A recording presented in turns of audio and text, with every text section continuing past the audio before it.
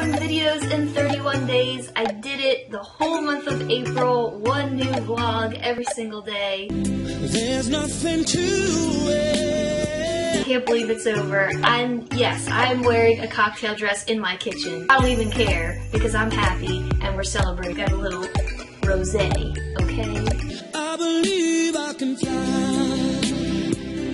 I believe I can touch the sky.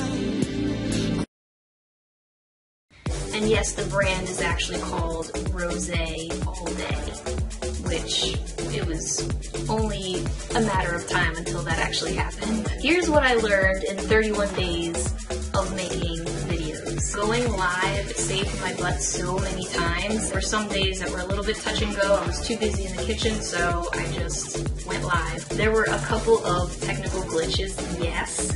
By my fourth live stream, I think it took four to actually get the process down pat, but I will continue to do live streaming. Second thing that I learned while making videos is that I love making videos. I never expected to be bit by the video making creator bug, but I would just find myself constantly thinking of different ways I could tweak a video or what music to use. Think about it a lot now. I also met some really amazing people that I would have never otherwise met if I YouTube channel and I was not focused in on my culinary niche. I met amazing chefs. There were so many cool things that I did and saw and new people that I met. Probably would have never ever met these people if I did not have this channel. And this cheers is for you.